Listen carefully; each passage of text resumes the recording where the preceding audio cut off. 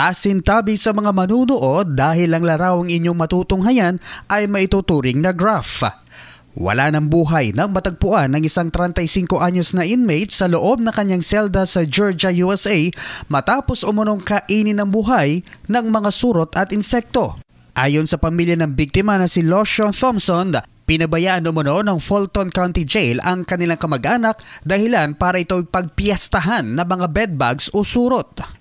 Kita sa larawang ito na kuha ng abogado ng pamilya ang kalunos-lunos na sinapit ng biktima habang nasa loob ng selda. Puno ng kagat ng mga surot at malilit na insekto ang katawan ng biktima matapos matagpo ang wala ng buhay sa loob ng kanyang selda. Sa inilabas na larawan ay makikita ang maruming selda ng biktima.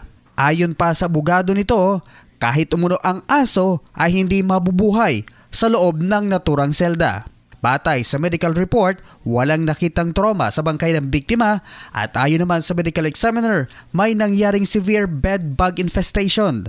Si Thompson ay pinasok noon sa psychiatric wing dahil sa mental health issues at makalipas at tatlong buwan ay natagpuan itong patay.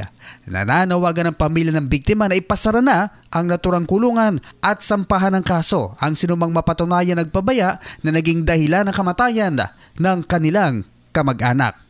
Yan ang report katumaang Culture Mascorbate Garci. Ako si Brigada Mike Salgado ng Brigada News FM in the heart of changing lives, the Mexican News Authority.